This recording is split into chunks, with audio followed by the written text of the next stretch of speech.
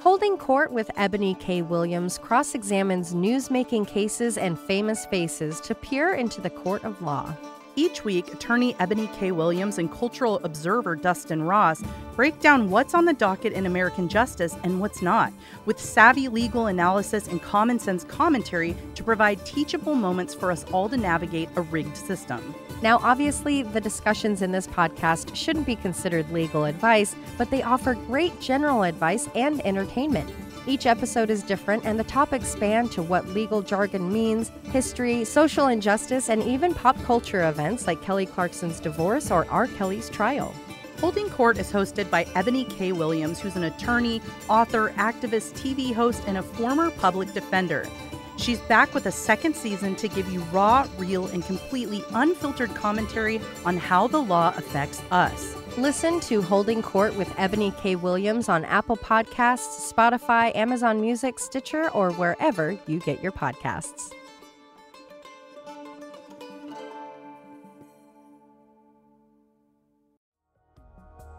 Y'all know we love asking questions. Who did it? Why did they do it?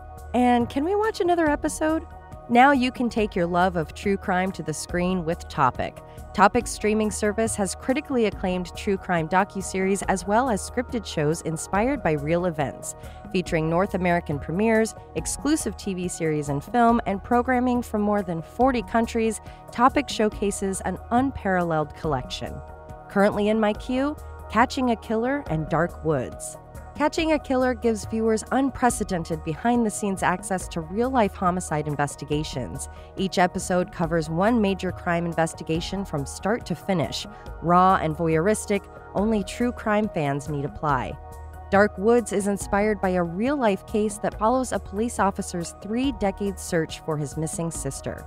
You have tons of streaming services to choose from, but Topic is the home for a range of high quality true crime shows just for you. And you can get all of this for the low price of $5.99 a month.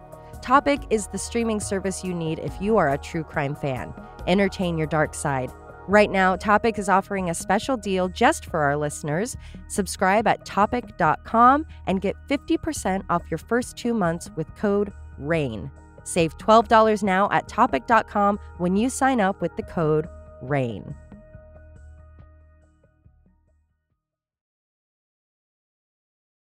This episode originally aired on our Patreon. We will be back with brand new episodes soon. Thank you for your patience as Josh heals from heart surgery.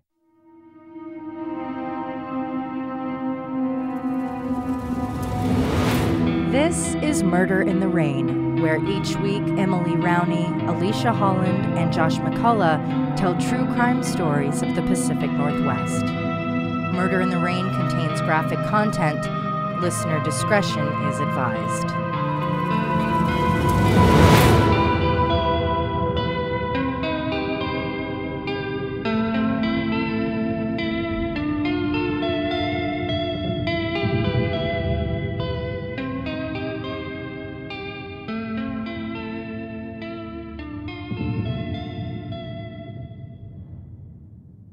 16 year old Cassie Jo Stoddart was dropped off at the home of Allison and Frank Contreras, her aunt and uncle, in the middle class suburban Whispering Cliffs neighborhood in Pocatello, Idaho.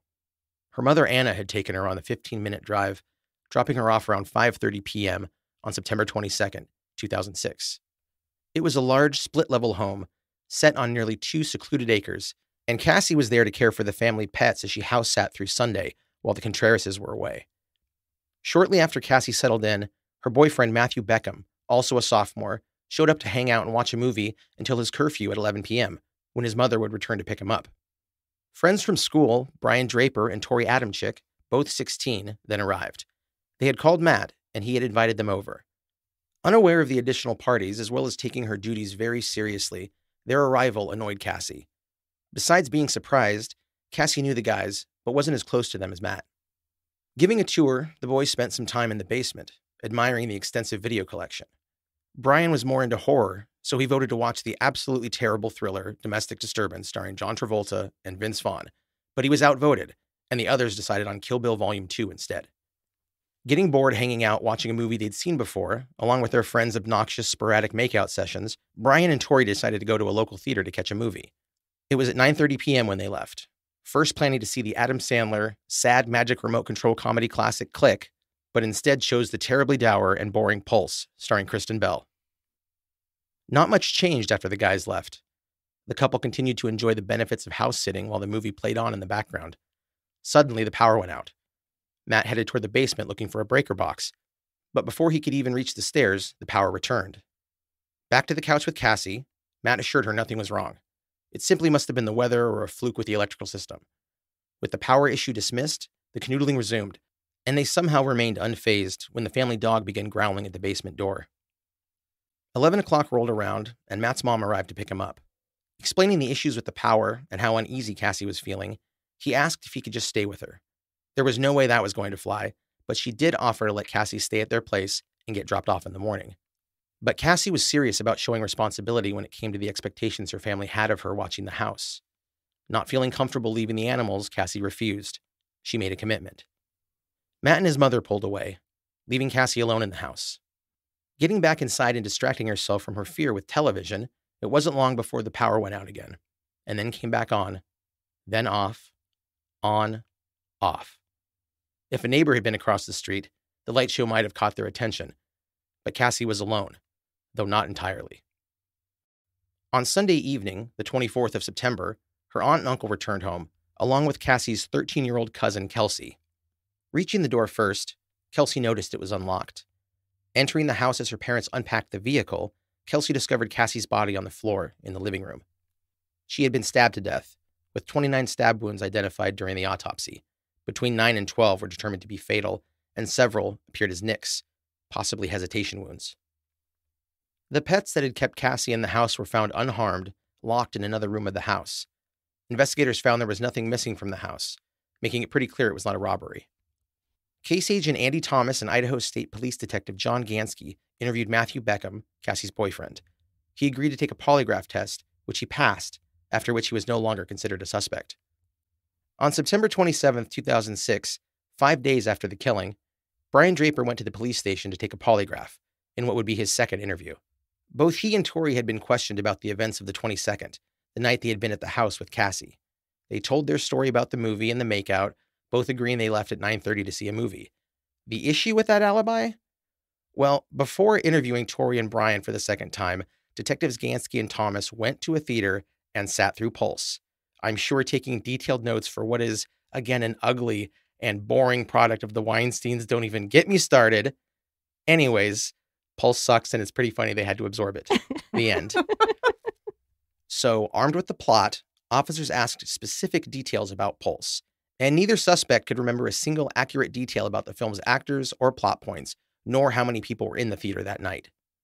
But how could one forget characters putting red duct tape on their windows to slightly delay the technology ghosts from getting to, and I assume boring them to death?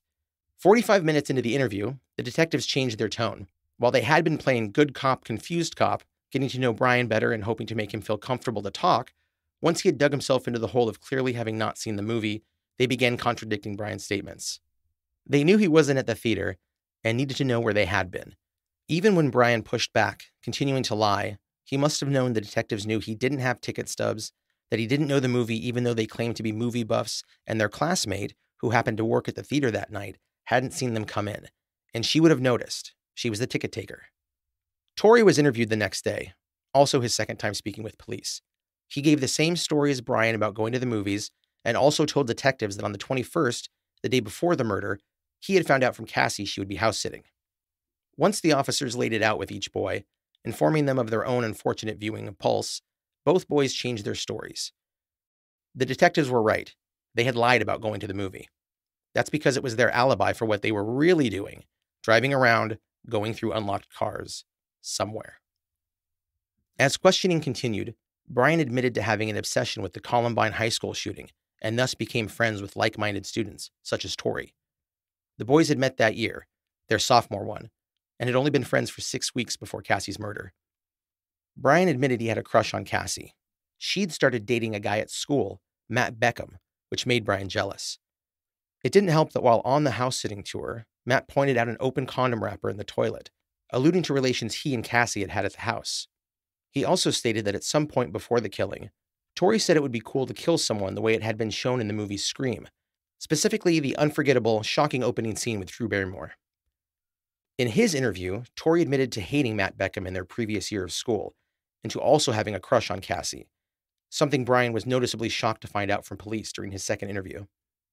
Torey spoke with police the day after their conversation with Brian. He claimed, as Brian had, that after they left the house at 9:30, they drove around the neighborhood in Torey's red Geo, looking for unlocked cars to burglarize, which turned out to be a lie. But I wonder how close to true that detail is. Had the boys started stealing from cars as part of the buildup to the murder, maybe as a way to gain the composure to go through with the murder by starting small? At 1 hour and 26 minutes into questioning, the detectives once again shifted the focus of the interview and began to call out the conflicting information Torey had provided. The first conflict witnesses.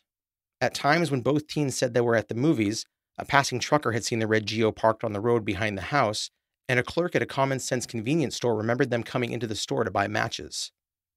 It had only been five days since the murder, but Brian cracked under the pressure. Confessing, he escorted detectives to an area in Black Rock, 15 miles from the murder site. Pointing to a spot on the ground that had been recently turned, police began to unearth a nightmare. This was where the boys had buried their evidence. Among the dirt and grass, detectives found knives, painted white masks detailed with fake dripping blood, and a videotape. Detectives were hopeful the tape would provide answers as to who killed Cassie, which they already had a good idea of, and the equally confounding why Cassie was killed. They got more than they expected. They played the video, which conveniently featured a time and date stamp throughout.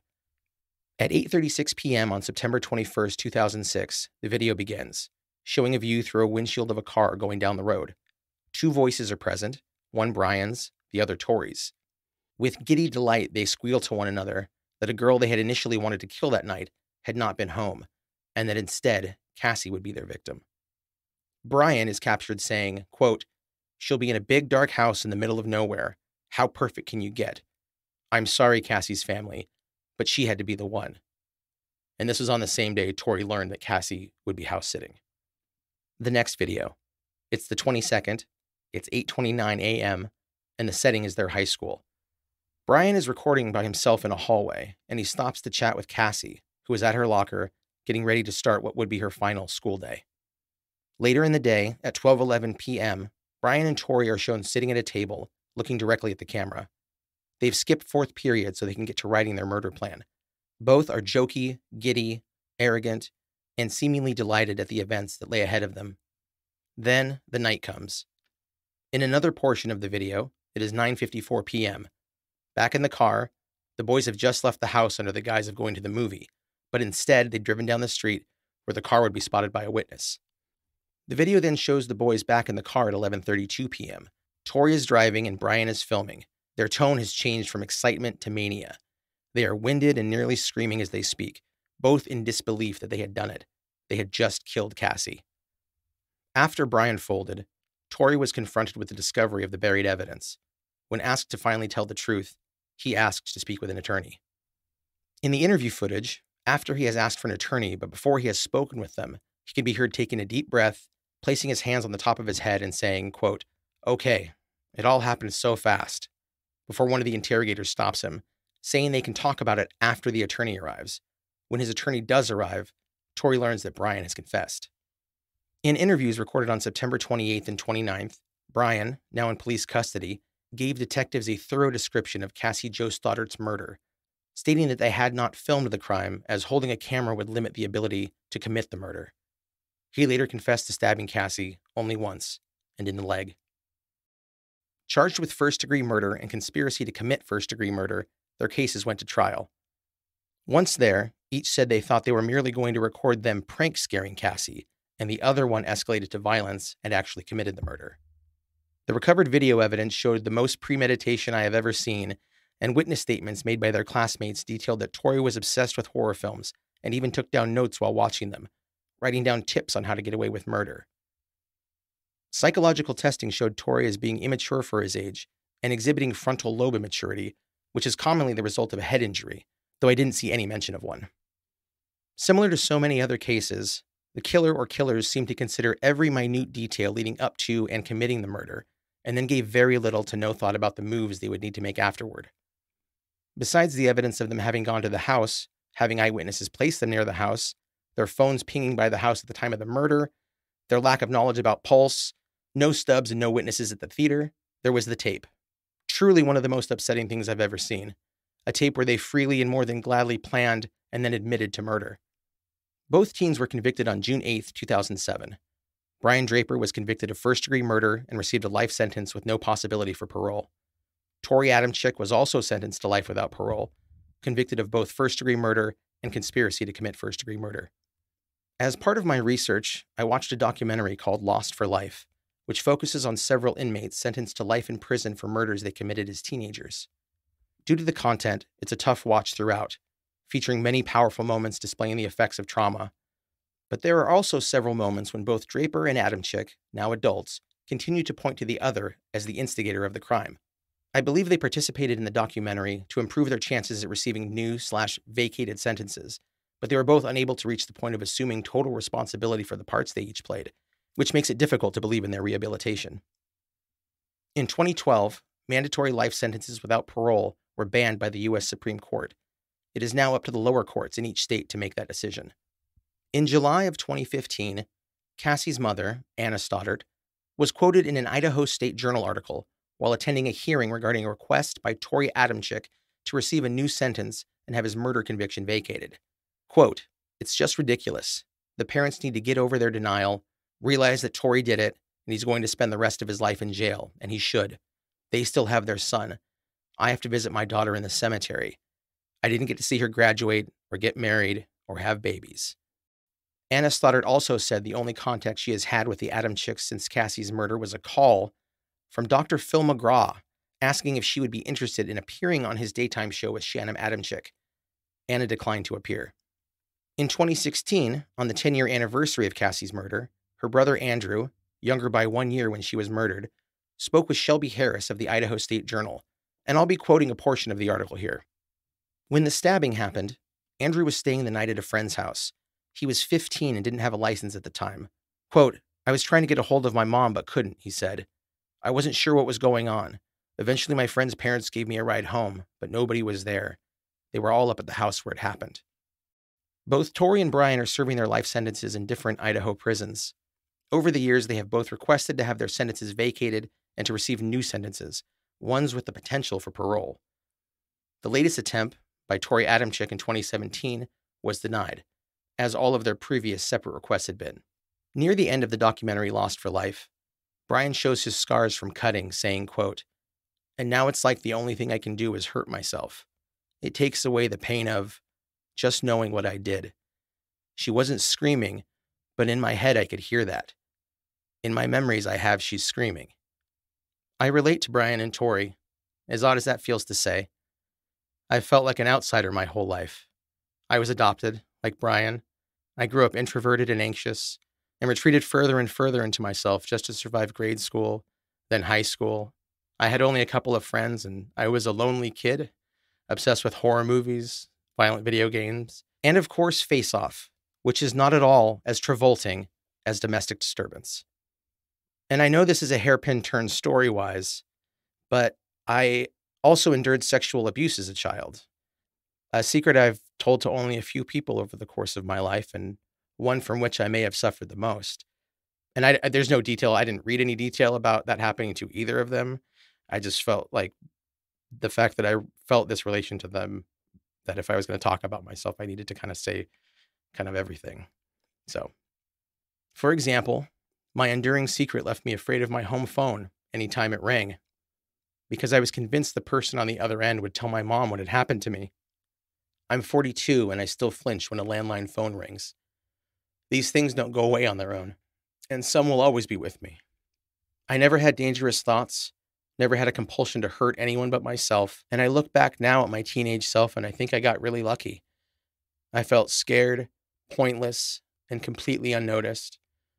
But after graduating high school and aging into adulthood, my social sphere expanded, I was well regarded in my group of friends, and I finally had a girlfriend, though it only lasted a few weeks. Jennifer.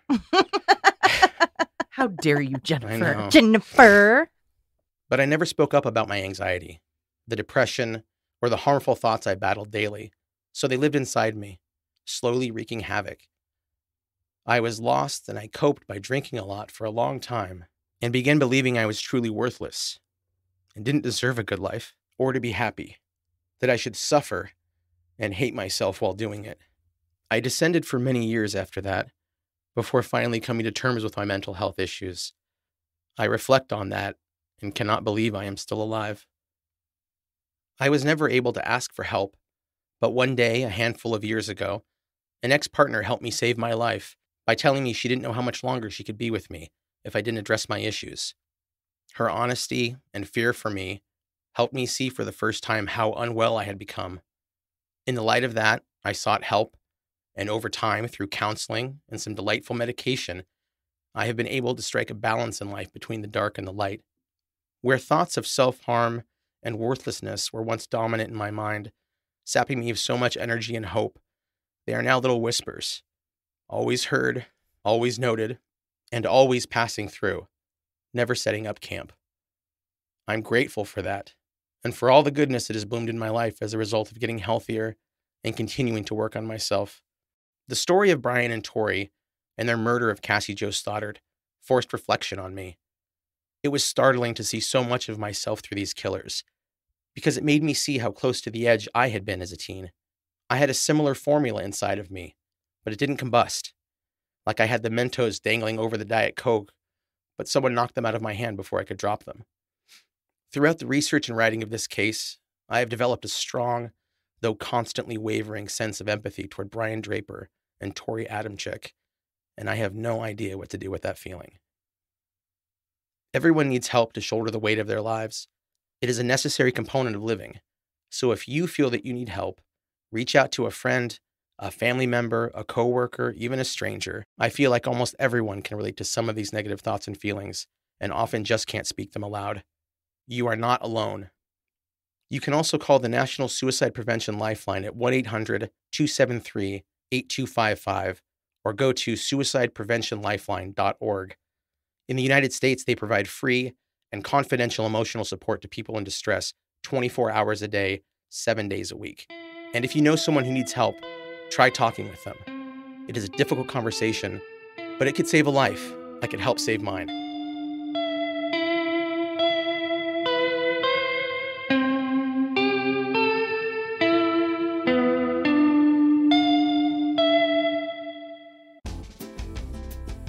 For many people, summertime means travel time. Whether you're going abroad or staying domestic and want to immerse yourself in the culture, now is the perfect time to start Babbel.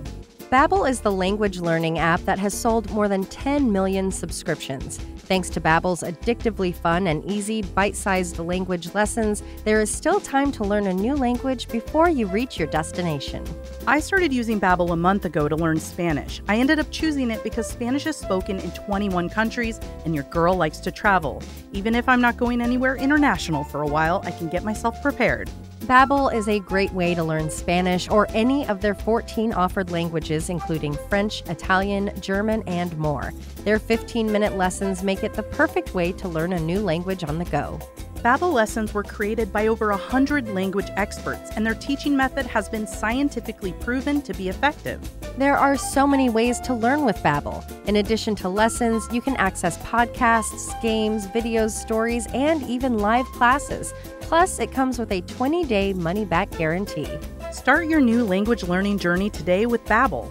Right now, save up to 60% off of your subscription when you go to babbel.com slash rain. That's B-A-B-B-E-L dot com slash rain for up to 60% off of your subscription. Babbel, language for life.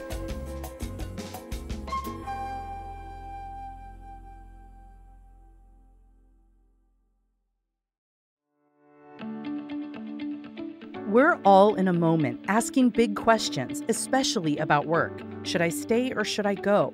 Are my skills right for this job? Should I pursue my passion? These are just some of the many questions award winning author, founder, and podcaster Jonathan Fields explores in the Spark podcast, presented by LinkedIn. Every week on the Sparked podcast, a listener shares what's going on in their work and personal lives, then poses a question to Jonathan and the Sparked Brain Trust. Then the Sparked team dives in, sharing unique insights, resources, and strategies. The episode that really resonated with me was titled How to Bring a Writing Passion Project to Life. In this episode, we hear Brie tell her story about how life took a major change when her husband stepped back from a full time job to focus on his mental health, and she went from a stay at home mom to leadership in the workforce.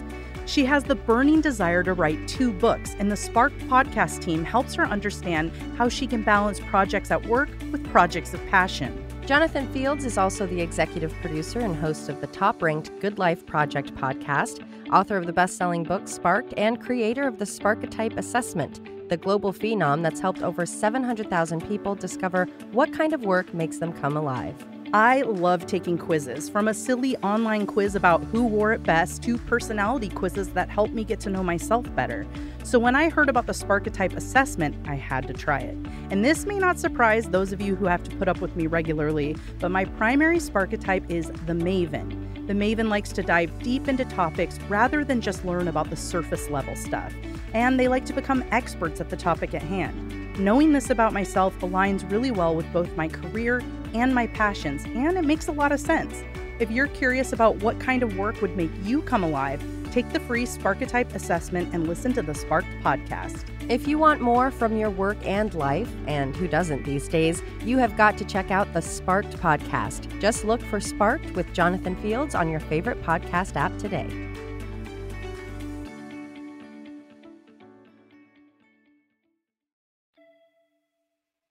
When do we have male voices, especially, Mhm. willingly talk about that kind of thing Absolutely. It's openly? so frowned upon in society Mhm.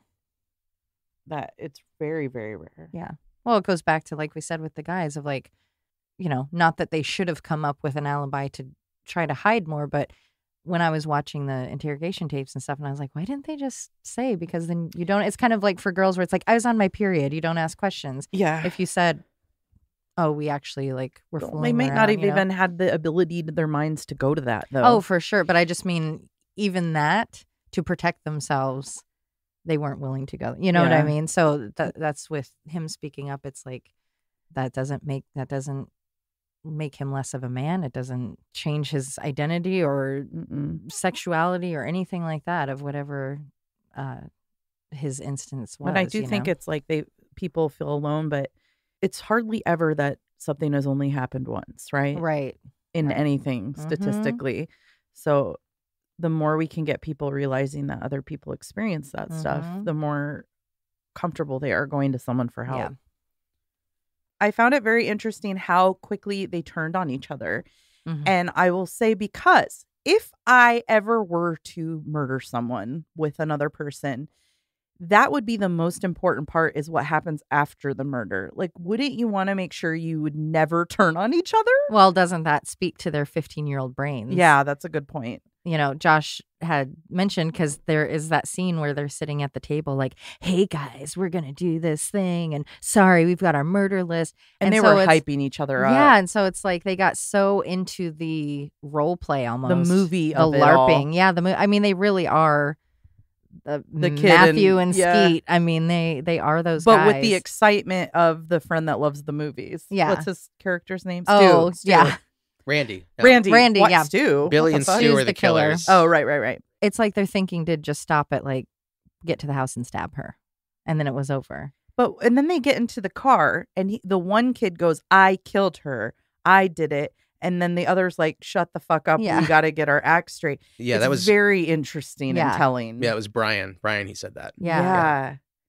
and, and I understand the empathy, and I think that's a conversation that doesn't happen very often of empathy towards the perpetrator because it's it's the most taboo and it's unallowed. eh, But it's like yeah. we're talking about sixteen year old kids who not only might have had brain damage, we're ten years away from their brains being fully developed. But then you turn around and say, "Well, I was a teenager and I had and I wouldn't issues, have done that. and I didn't do that. I didn't think about doing that." So And, and also, it's not like it was a crime of passion. It mhm. was so detailed and, and obsessed over for years, I Yeah. imagine. yeah. And uh, And wow. knowing what that would be, they weren't like, "Oh, wait, she's dead." I think we've run into it a few times where we do have this almost surprising empathy towards the Mhm. perpetrator, and it usually is the teen teen boys. Yeah. because that's mostly what we cover. Right. But even even in the teenage girl ones, um, I covered that case long ago. One of our my Oh, first yeah. cases about the Michelle Gates, Mhm. and you you empathize easily with someone whose life is ahead of them Mhm. who made a mistake, and then you find out she'd done it before and Right. it, planning and Well, and I think to Josh's point, we all have that combination. It doesn't take dark a lot of light. yeah, it doesn't take a lot of missteps in life to send you down a really dark path or That's spiral true. you into mental health issues. And jo- Josh said it himself. Like he feels lucky to be alive. Uh, There are people who've been in such a dark place that could have been them. right. It could have easily been them. We have actually that's Oregon has a few cases. So they they call them the Oregon 5 Mm-hmm. and it was five teenage boys who were who all had first degree murder and it was in the media forever and the courts kept going back and forth on do you put them in life no Right. parole that's not fair like they could be rehabilitated it's and some have one of them is still in prison and actually he's the one where you're like how is he not out yet oh, he right. does so much good. He, I, I'm sorry, I forgot his name. I think I'm going to cover his case in a few weeks. But he has started an organization to help other boys, teenage boys Oh, in the prison system. Yet he's the one that's still in prison. still in jail, hasn't gone up for parole.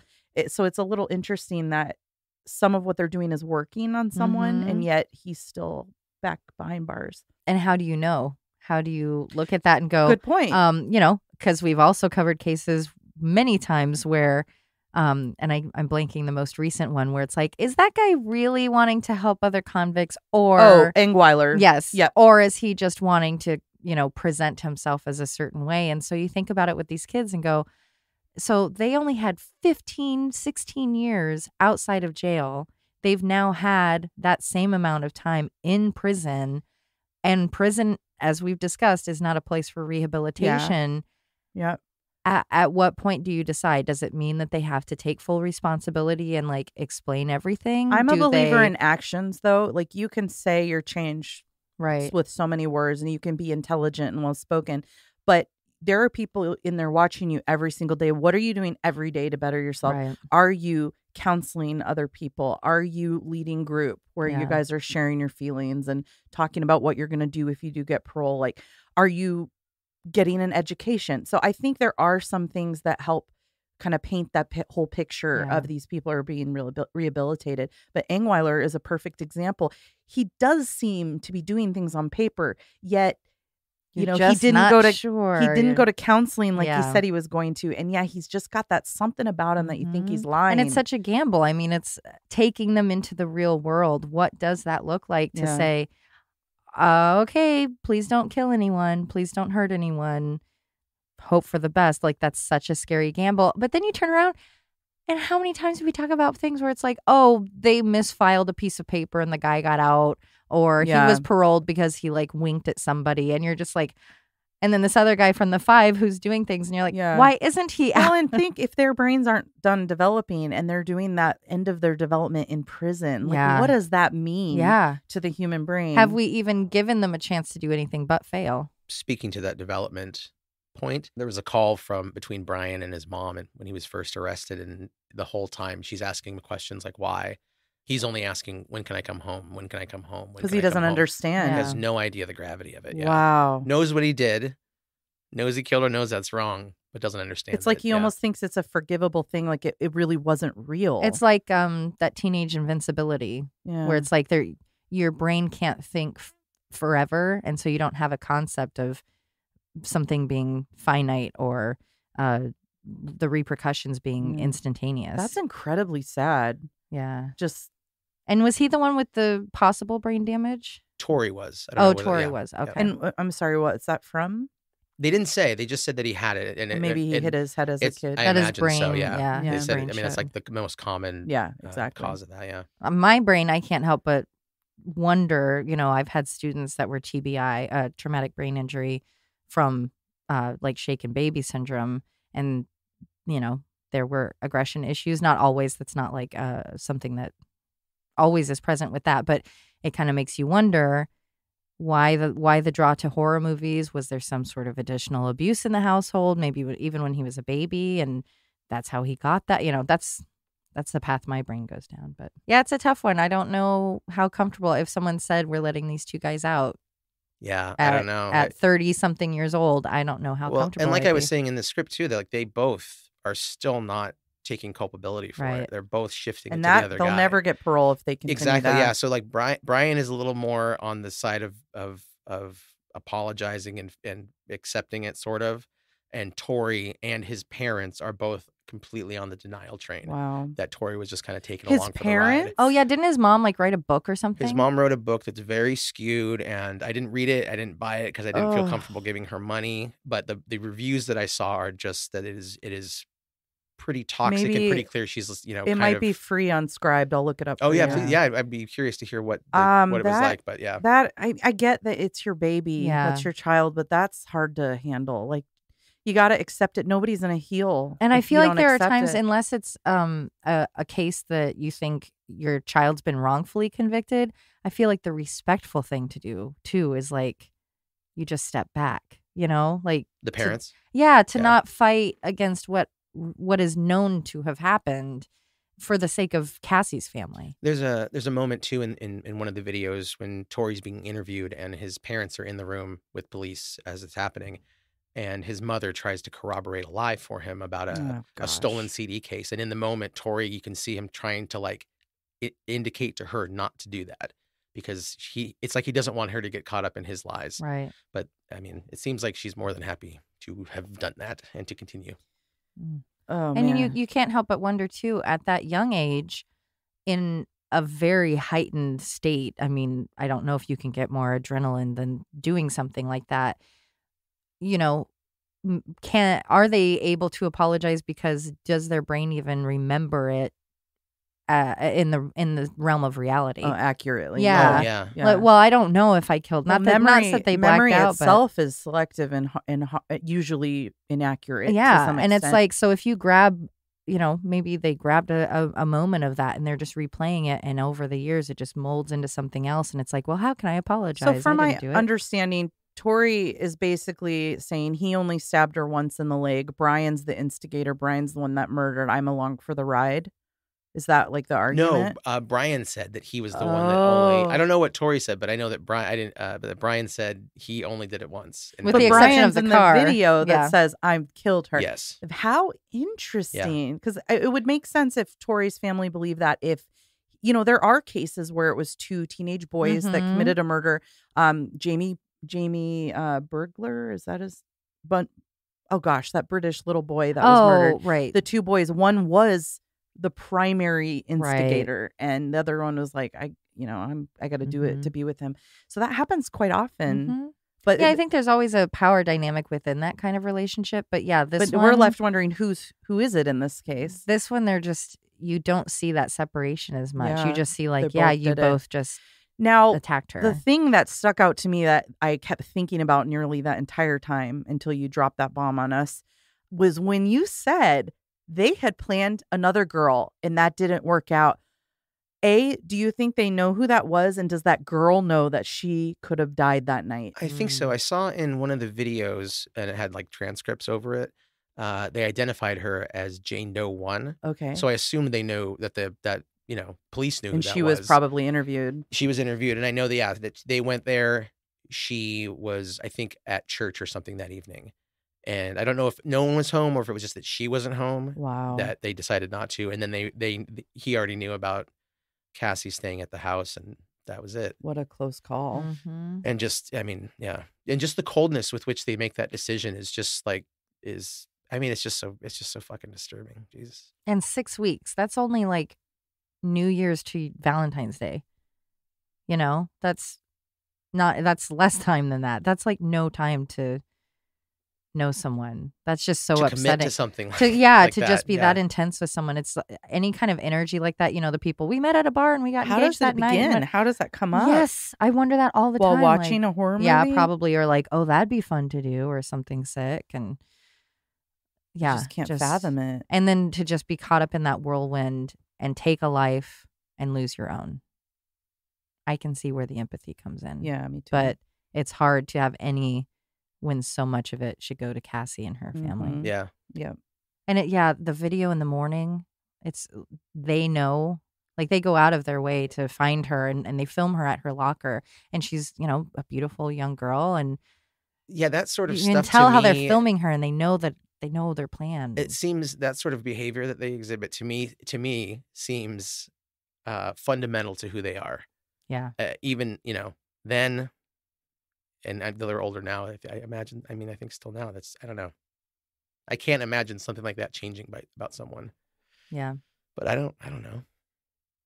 Bye.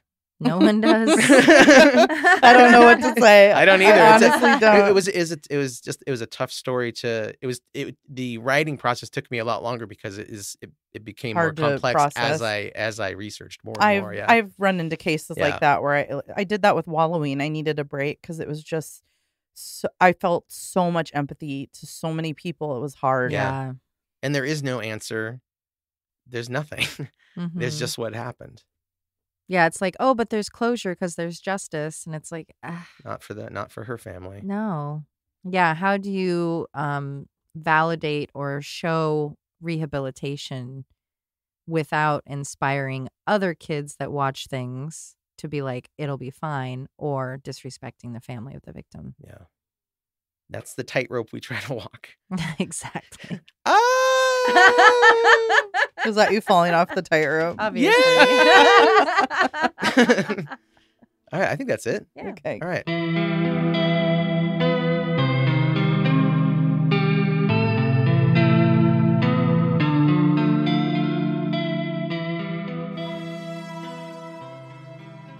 There to care for the family pets as she house sat. Yeah, yeah, yeah. that was so accurate. Yeah. Friends from Scroll. Scroll. Friends from screw. These are my friends from Screw. Is that porn star squ- school? Porn star Screw? Screw- I get it. Scroll, I get it. Screw. Scroll. I learned fellatio at Scroll, Exactly. Yes. but I hate men.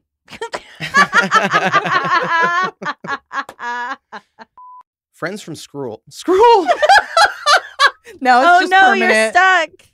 Detective Jewelry went to Scroll. Oh boy, we're a bunch of kidders, silly gooses. Three of us. Quack quack. honk honk. quack, quack. Three silly gooses, quack, quack. I've never heard that before. It was great. honk Honk, honk. honk. Honk. My bad. Wet my whistle. Oh. Ew, I don't like that saying. Can't you hear how wet it is now? Oh, God, kill me. That's a wet whistle. I don't recall any head injuries until adulthood, but Oh, I've seen one on Yeah. video of yours. yeah, um, I had a that one's a rough one. That's why my passwords have to always be the same thing. Ow! Oh, Wow, you saved the I saved water, the which water. saved the show. Holy shit. Wow. Whatever would have Terrible. would have shorted out the chip, and then we have oh, like we would, and we'd also have to of our redo that fucking case. Yeah, no. Poor Josh. Right, okay, bring that same level of emotion, okay? Make it organic.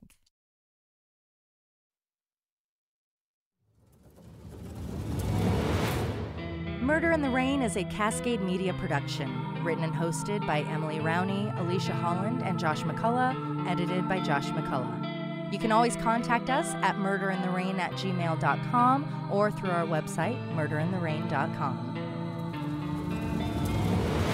If you just can't get enough of Murder in the Rain, for as little as $5 a month, you'll have exclusive access to bonus episodes at patreon.com.